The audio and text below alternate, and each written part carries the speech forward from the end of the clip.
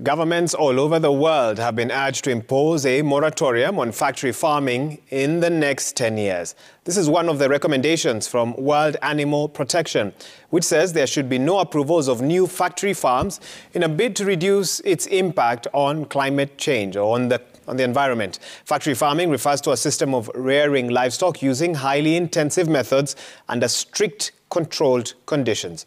An analysis on the environmental impact of factory farmed livestock found that emissions from chicken meat in Brazil, China, Netherlands, and the United States alone are equivalent to keeping 29 million cars on the road for a year.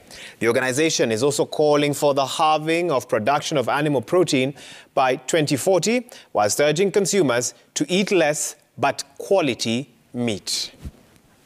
That you and I as consumers make good buying decisions. One, to eat less but better quality meat, which simply means eat less animal proteins, but if you must eat animal proteins, then eat proteins from high welfare production system.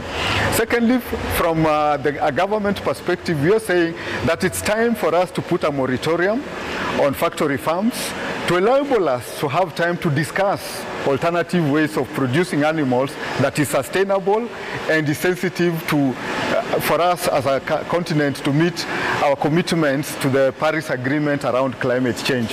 And last but not least, for industries to then start producing animals in high welfare production systems, which simply means meeting farmed animal responsible minimum standards.